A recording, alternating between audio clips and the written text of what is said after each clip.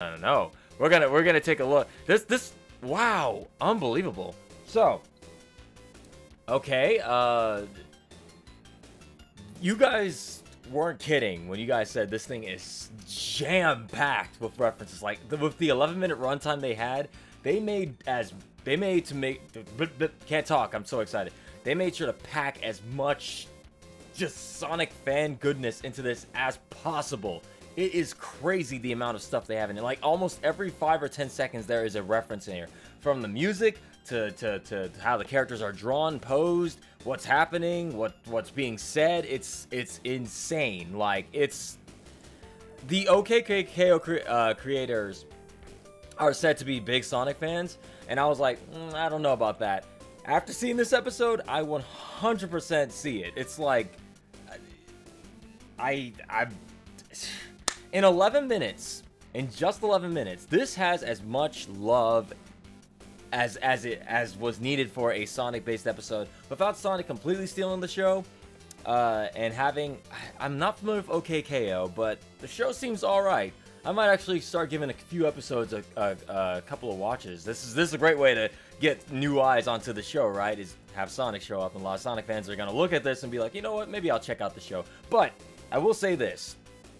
Um, I, I'm just, I, there's so many things to talk about here that I'm, I'm losing track of what I want to say. And I want to make sure I talk about everything. Um, I'm sure I missed like a few hundred references in this, but like, can you blame me? There's so many in here. Okay, so add OKKO to the ever-growing list of Sonic cameos that actually got the character right. Let's see, he's shown up off the top of my head in a Simpsons episode, He's shown up on probably Mad TV. He's shown up in Disney's Wreck-It Ralph. Looked great there for the few, what, like 20, 30 seconds he shows up total in that. Ready Player One, despite not being my favorite movie, it's not good, really. Even the five seconds he showed up in that was fine.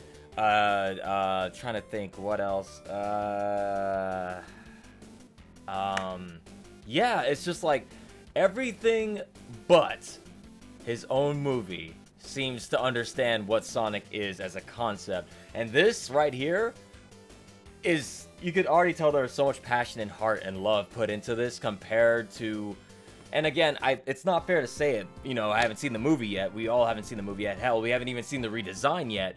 But from what we can all most people can tell from seeing the movie, it's just another cat, you know, another shameless Hollywood grab of IP random IP meets real world live action generic plot of we have to hide you from the government. The government's coming after said character, IP, character, whatever, and we have to hide you and make sure you get back to your world and all. It's just the generic.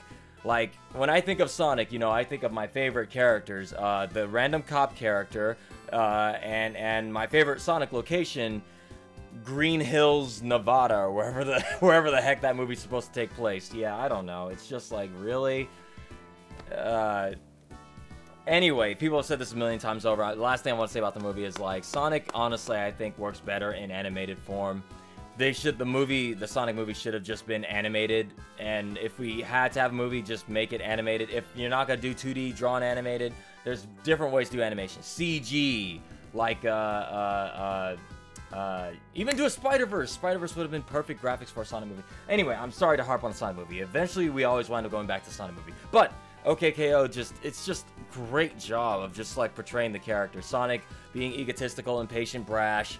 Uh, Tails being helpful, the little buddy sidekick. And of course, you know, I, I'm glad that they kind of did the whole reconciliation thing between Sonic and Tails because I'm sure there were some very angry Tails fanboys who probably still put comments in the, you know, angry comments in section below. Sonic was too mean in this episode. He was treated Tails like crap and I hate it.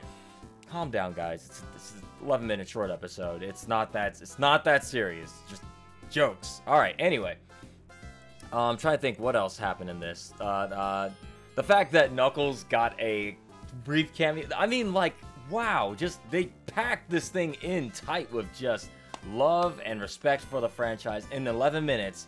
I got more out of this than I did the, the goddamn Sonic movie trailer. And the, the only thing I got out of that trailer was Jim Carrey's going to probably be the most entertaining thing about that movie.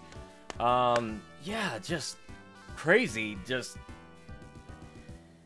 Also, Cream the Rabbit got a name drop. It took a crossover episode for them to reference Cream the Rabbit. She exists!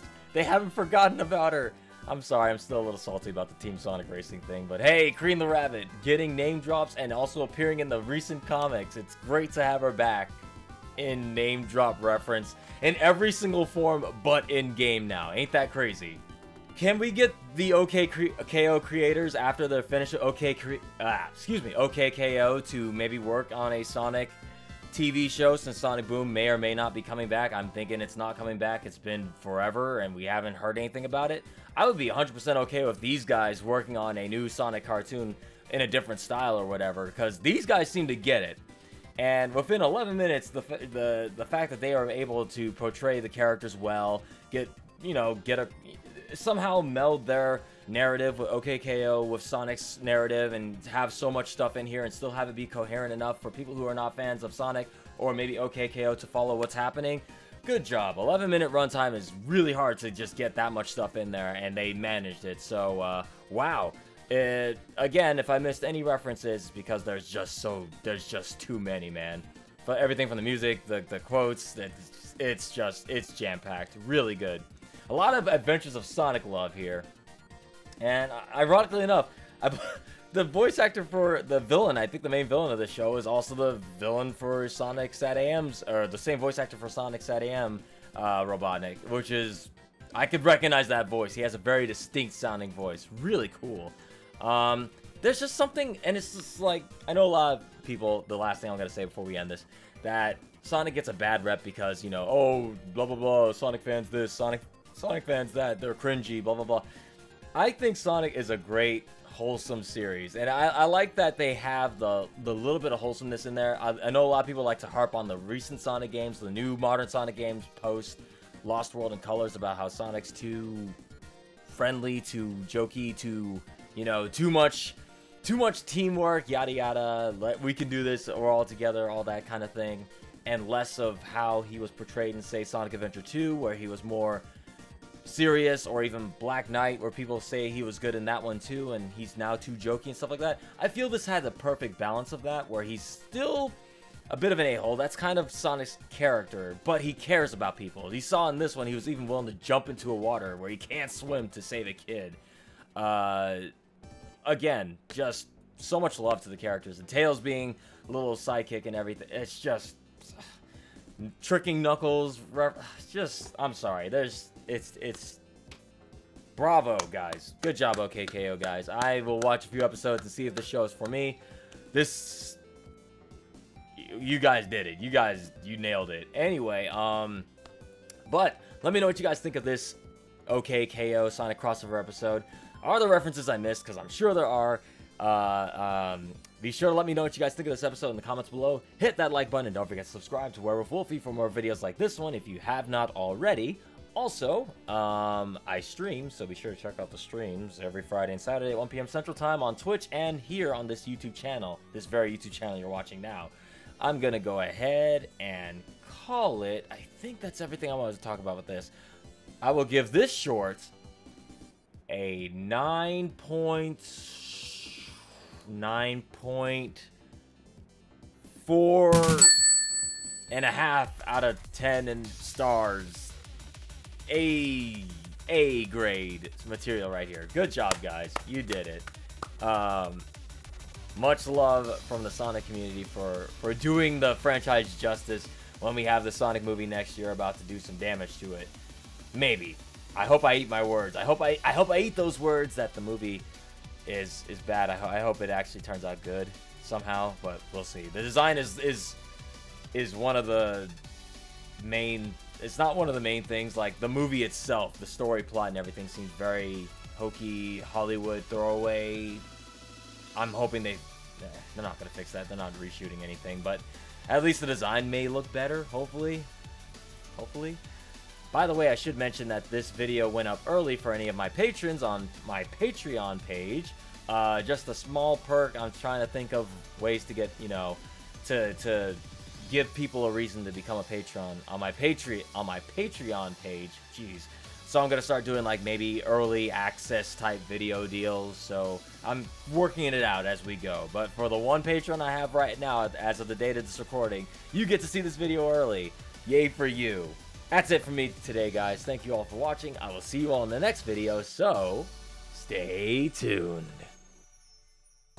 This video is sponsored by my patron, Hedge. Thank you so much for the support. If you guys would like to support the channel and become a patron, go to patreon.com slash werewoofwolfie. A link is in the description of the video below, or it should pop up on the actual video. Thanks again, guys.